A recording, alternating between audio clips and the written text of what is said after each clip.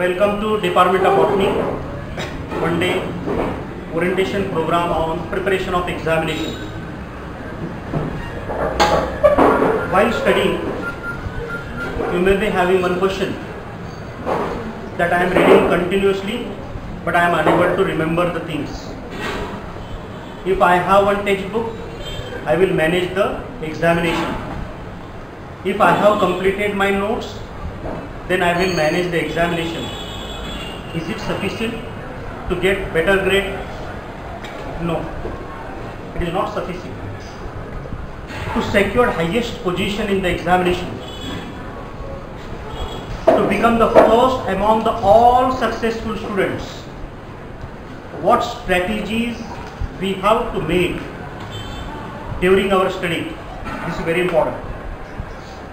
Notes are not sufficient. One textbook is not sufficient. One excellent language is also not sufficient. Then what are the measures we have to take to boost our results? The technique which I followed, same thing I am going to transfer today.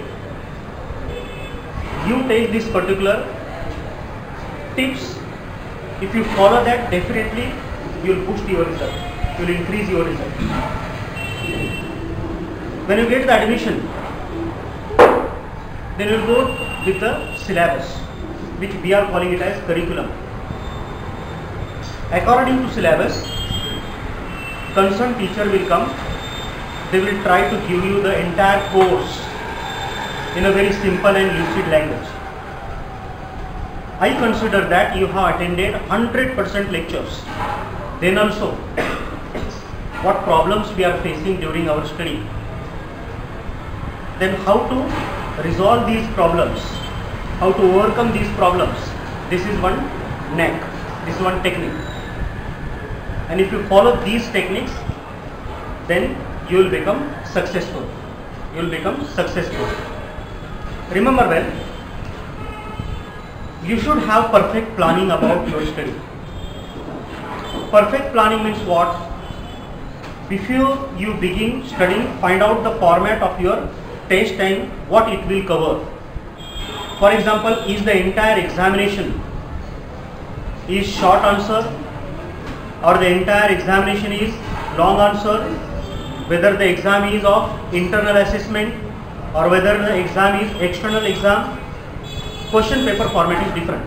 If it is internal examination, as per the Savitri Bai Phule Pune University, multiple choice questions, fill in the blanks, true or false, definitions, short answer and long answers. So you have to prepare yourself. If it is external exam for 80 marks, question paper format is different. You have to prepare accordingly. That's why first of all we should know what type of exam we are going to take. Be the teacher or the supervisor will give you the exam. Being a student, you have to take the exam.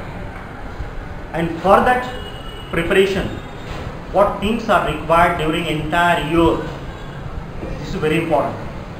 Then go through your notes after completion of the topic. For example, today one concerned teacher, he explained everything. He tried to simplify the concept in detail. After completion of that topic, you have to prepare the notes. So go through the notes or text or related primary sources or handouts. If suppose on that concept, if you read one article in newspaper or article in journal, you should keep that copy with you in your study room. Notes are not sufficient. In addition to that, you have to keep some primary sources, whether it may be textbook, whether it may be reference book, whether it may be journal article, whether it may be newspaper article, whether it may be the running notes which you are going to make during the attendance. It's very important. In addition to that, seek information from the people who have already taken the course. It means that the previous year students, already they have taken this course. You can take guidance from them. You should be in contact with your seniors, already those who have taken the course. Remember well how to read the concepts, how to read the notes, how to read the books, how to read the reference books. For example, in your syllabus, chapter number 1, when you start your study, read the entire notes slowly and carefully. This is the first concept. When you start your study, read the notes slowly and carefully. Cannot skip this step even though it is time consuming. Do not move ahead if you don't understand the previous section. If suppose during your study, during your reading, in first reading, if you are unable to understand the concept, don't leave that step even though it is time consuming or if it is ununderstood.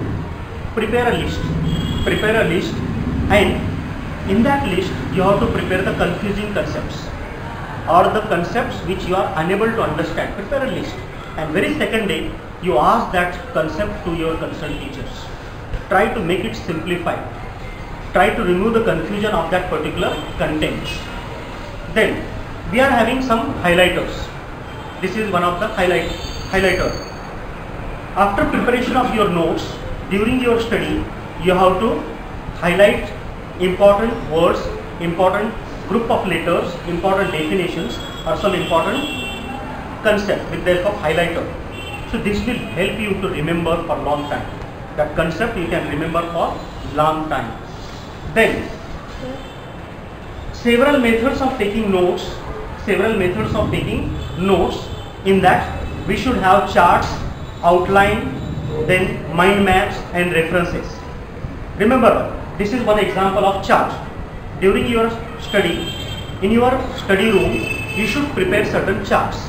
On drawing sheets, you have to prepare certain charts, some diagram, as the botany or the plant sciences.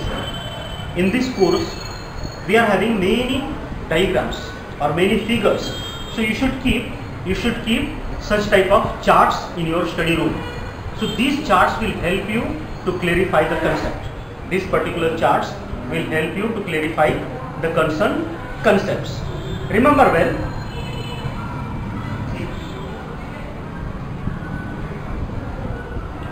in addition to that, outlines is one more concept. Remember, when you are going to study, don't think that notes are sufficient. In addition to notes, you have to prepare the charts. This is one way. With the help of charts also, if you can see here, then you can see structure of flower. If here you can see reproduction in plants, you can see concept of industrial botany. So in your study room, all different types of charts should be there. In addition to charts, you have to prepare the particular outlines. What do you mean by outline? For example, application of horticulture industry. Then in the center you have to write horticulture industry and where this particular industry is useful. So you have to prepare an outline. So this also help to increase our memory. We can remember the concept for long. We can remember the concept for long time. In addition to that, you have to prepare certain keywords. So while during your attendance, when you are attending the lecture in classroom, you will prepare the running notes. Simultaneously, you have to write the key points also, keywords also. These keywords you have to prepare chapter wise. For example, your course is for 9 chapters. So during that course, chapter number 1, 7 to 8 keywords. Chapter number 2, 7 to 8 keywords. Chapter number 3, likewise, chapter wise important terminology. How you can see the syllabus? Syllabus just like keywords. There are certain important head, headings or titles of the concept. Likewise, you have to prepare keywords according to the chapters, various chapters. In addition to that, you have to prepare a mind map. This one concept I have used. What is meant by mind map? This is one example how to prepare the mind map. For example, in your syllabus, reproduction in plant. Reproduction in plant. You should mention. You have to write all the details about the reproduction in plants. Sexual reproduction or sexual reproduction, its types, subtypes, what it means. So this will give you clear picture about the reproduction of plants. So in your study, when you find, yes, this concept is having so many subtypes. So for that particular subtypes or for that particular concept, you have to prepare the mind map. So chapter wise mind map, if you prepare and if you paste on the wall of your study room or your personal library, if you keep these mind maps, this will also help you to simplify the course. In addition to mind map, remember well, there are so many concepts. There are so many ways. One of the way that is reference cards. You can prepare chapter wise reference card. If suppose if you prepare the notes and that notes notebook contain 100 pages, your entire course for the writing of notes, if you spend 100 pages for 9 chapters, so you do one thing, you prepare reference cards. This is one reference card. So two reference cards for one chapter. Two reference cards for one chapter. Nine lectures, total how many reference cards? 18 reference cards. So whenever you are having free time, then immediately you take chapter number one, only two pages. Notes 100 pages, only two pages. Only the summaries are important point. Types of, uh, for example here, theories of permeability. Theories of permeability. The types, how many theories are there? How many theories are there? So you can write such type of concepts on the reference cards. So up till now, for our study, what we have used? We have used charts, we have used outlines, we have used mind maps, we have used reference cards. In addition to reference card, there is one new concept which I have referred during my study time. That is the timeline. So what is meant by timeline? For example, study of molecular biology. Study of molecular biology. So during molecular biology, which scientist explain the term in which year? This is the timeline. So you can study this particular timeline. What happened during 1972? During 1972. What happened during 1972? What happened in 1973? What happened in 1975? Such type of timeline if you prepared as per the course, then it will help you. It will help you to remember the concept again and again. For example, nine chapters. All nine chapters contain, for example, 30 different definitions. So you can prepare timeline for definitions. If suppose if your entire course containing 25 short questions, you have to prepare the answers in the form of timelines. And again and again when you are going to repeat this particular uh, timeline, nowadays everybody is using mobile. Everybody is using mobile. You can prepare the timeline and keep that timeline in your mobile. Whenever you are having free time, try to read that particular timeline. You can enjoy such type of interactive uh, learning process or experiential learning process. So this is the outcome. This is the outcome. I got benefited with the help of such practices. So this is what is reading. This is what is reading. If someone is feeling, yes, I have notes, then it is sufficient. No, it is not sufficient to get better grade or better marks. To get the goal, that is gold medal. It is not sufficient. If you are using such type of practices during your course study, then it will definitely help you to increase your uh, percentage. Now, record. Discuss the material you just read with a friend. Now, if suppose if you read chapter number one today, then very next day you can discuss this chapter, entire chapter with your friend. What will happen during discussion? You will clarify the concept again and again. This is also one of the way for your record. Then review is very important. Survey the chapter once more. Look at highlighted areas and notes. So with the help of highlighter, with the help of highlighter, already you have highlighted the important concepts or important words. Then you have to read again and again. This step will help you to store and retain this information in long-term memory. so we can very much involve in our reading practices, in our learning practices. So this will help you for your study. Reviewing your class notes on the same day, take them. When you prepare the running notes or when you prepare the notes, you have to review them on the same day. It will increase uh, your memory for long time. Look over your class notes and take sure, make sure that they are complete and accurate. Make note of anything that was confusing. Plan for short or long answer. As I have already mentioned that if you are having some confusion among the concepts or some bit or some definition or some uh, part of the syllabus, you have to prepare a list. Confusing concepts. Most of the students, they are having confusion among hypertonic solution and hypotonic solution. Prepare that list. Most of the students, they are having confusion from the solute particles will transfer from higher concentration to lower concentration or from lower concentration to higher concentration. So like this list if you prepare for entire course hardly 10 concepts or hardly 5 concepts, 6 concepts may be there. you feel that this concept is confusing. You have to prepare a list and discuss with your teacher. Now, prepare a study schedule. Consider your exam or consider your study material, the number of days until the test and the time you can study each day. For example, your exam is left 30 days or you have 30 days time with you and you have to appear for the examination and total number of courses that is 12. So 30 divided by 12. Whatever the answer, that much time is left for one course. So you have to prepare your schedule. Within two days or two and a half days, you have to complete your course or you have to complete your revision within that much time. So you have to prepare a schedule. So it will help you to manage your examination. Take a pre-test. Some textbooks have questions at the end of every chapter or sometimes if it is not then you have to prepare your own question bank or you have to prepare your own questionnaire. Nowadays so many books at the end of every chapter you will find question bank. So try to read try to go through that particular question bank. Try to solve that question bank. Try to read what type of question is there. So this will also help you. Now remember when commencement of examination, when timetable displays, everybody is under stress. Everybody is under stress. They will take tension. So you are not supposed to take tension. Then there are certain techniques how to relieve from the tension or from the stress. So remember well, physical preparation is very important during examination days. Physical preparation is very important during examination days. Get adequate amount of sleep which will help you to give relaxation to your brain or which will help you to give stress to your brain. So minimum 6 hours and maximum 8 hours sleep is required during examination days.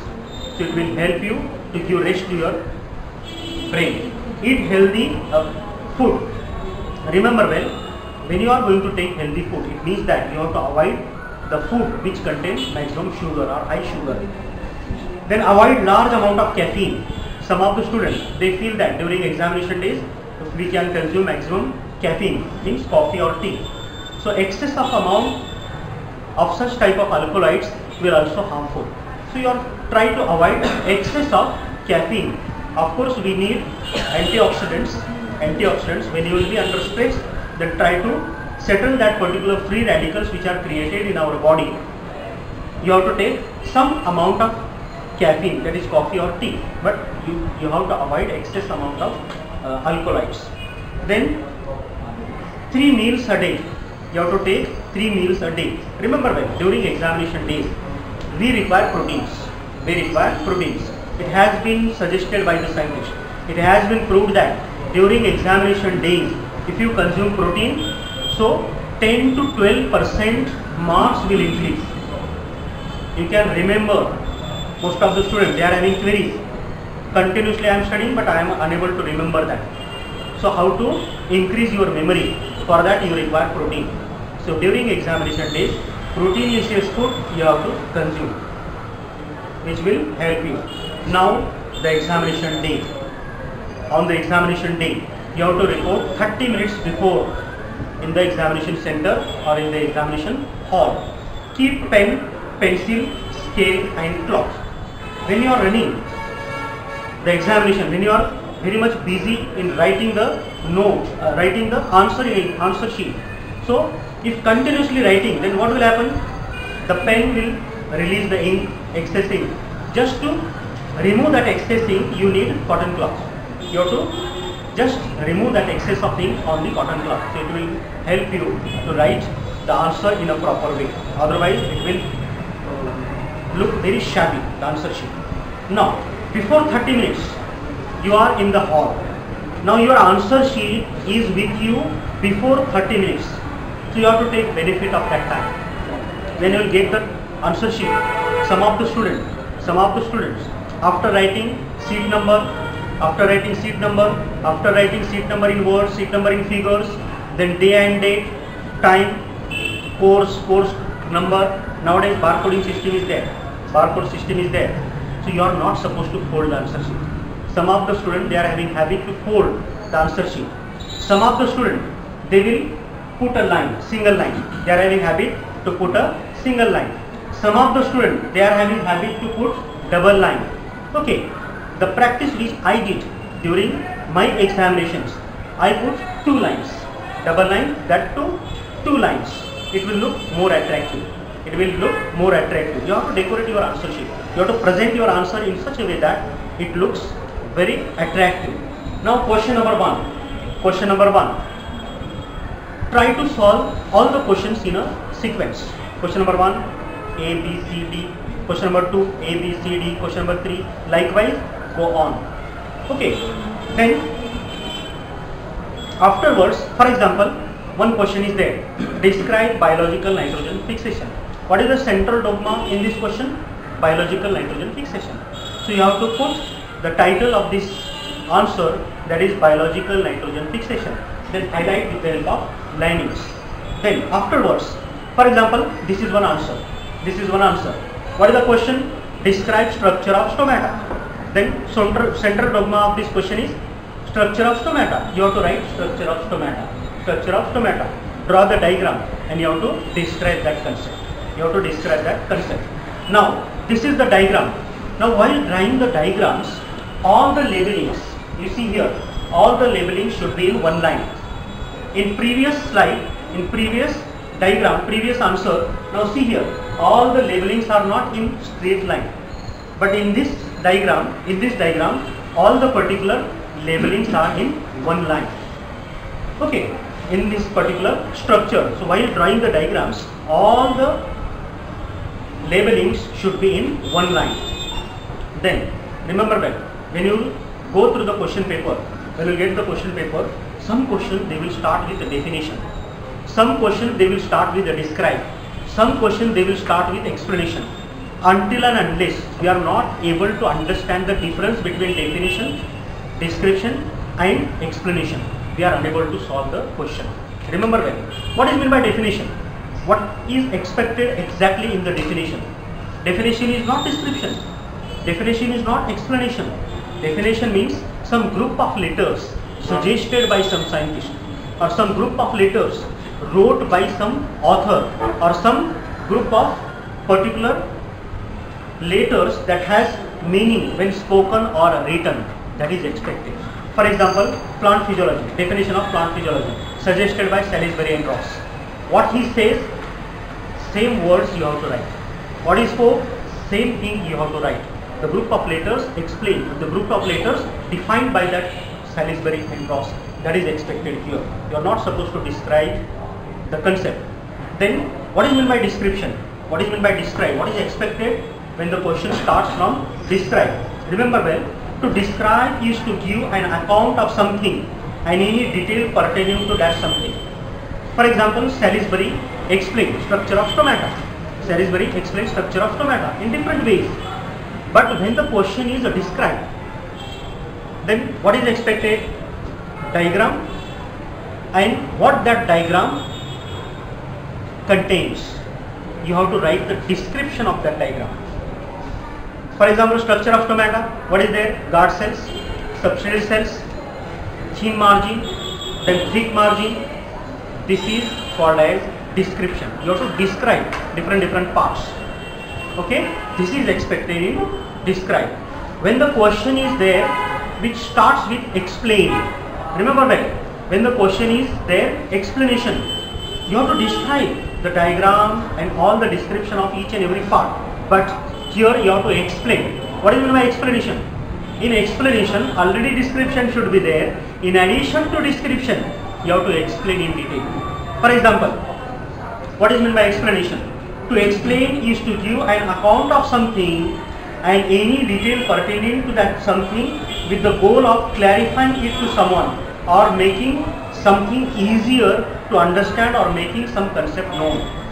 Means the concept which you have already described you have to make that answer in a very simple language or in a very reduced language or in a very simple way that someone should understand that concept. For example, structure of stomata. Who studied that structure? This is explanation. Correct? Structure of stomata. Then you have described already. Then you have to explain it. According to Salisbury and Ross, what he says you have to explain. According to Dieter and Hayes, what he says you have to explain According to Pandey and Sinha, what he says, you have to explain. This is what is explanation. And in addition to that, what you feel about that concept, you have to write it in a very easy way. So this is the difference between description and explanation. Description and explanation. What is expected in description?